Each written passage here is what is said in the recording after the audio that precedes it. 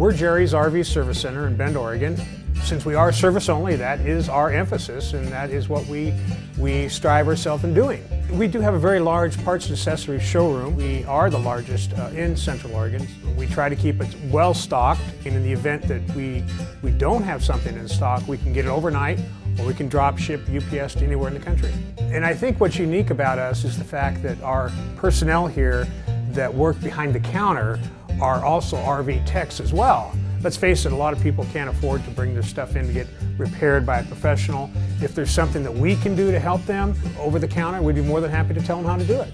We have a four-bay shop that we like to think is, is adequate for doing almost any kind of repairs we need to do. We also have the ability to fabricate, so we are a welding shop as well.